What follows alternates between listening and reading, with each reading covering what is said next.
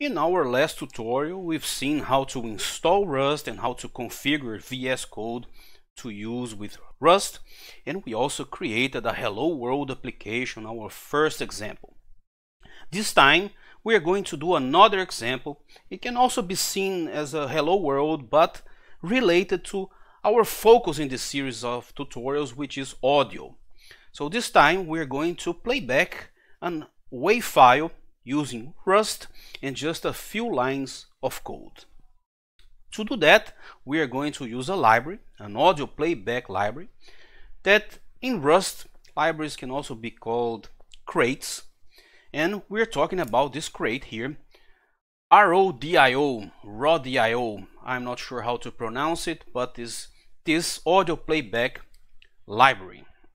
So what we're going to do, usually to use such libraries, you don't need to clone from a GitHub repository. We are going to see how to use libraries in Rust, but for this time, we're just going to clone this repository because we're interested in these examples here, specifically this music wave.rs. So when we clone this repository, then we will have all this code in our local folder and we can work on it. Let's do it. First thing what I'm going to do is to go here to the Rust audio RODIO, RODIO and get here this link so we can clone into our local computer. Now I'm here on my terminal. I'm going to activate my Rust environment that we created last time. So now on my Rust environment, I'm going to move to my documents folder and inside my documents folder, I'm going to git clone and I will paste that link. Oh, I didn't install git in my Rust environment. So I'm going to do a conda install git and let's clone again. So it's cloning into this folder rodio and if I go here in my documents and I see that now I have this folder with a lot of things inside. So we can move on to open. Via before I do this just let's check. And it's good that I can show you something. Let's go inside the this folder. And now what I will do is just to check if everything is fine is I will run an example. So cargo run example. And the name of this example is music wav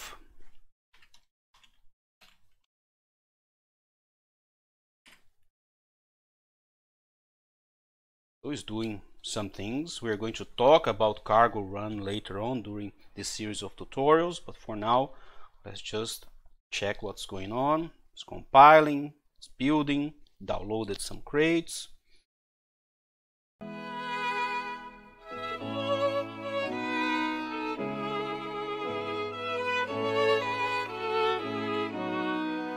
So we listen to this music from assets one of these files here. We listen to this WAV file that comes from this example. So our system seems to be well configured. But let's take a look on the code for this example. So I'm opening VS Code. I'm already here on the music WAV.rs and we see that we need very few lines of code to play back a WAV file. And the main idea of this library is that we have a string, so we get a handle to a default physical system. We have a sound file, we decode the, the sound file, and we can play it directly on the device. And we have this sink that makes it easier to control the playback, and this is what we are using here we have here. We are calling this output stream and we're getting a handle and we try new we pass this handle to sink. So now we have the sink. We have a file so we're opening this music.wav and then we're appending this to a sink and then we're calling this sleep until ends. That sleeps the current track until the sound ends. So we were running from the terminal but we can also run from here. Let's run.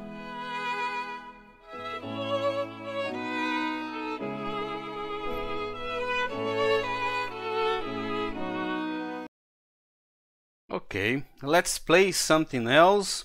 So we can just change here this file. Let's see what they have here.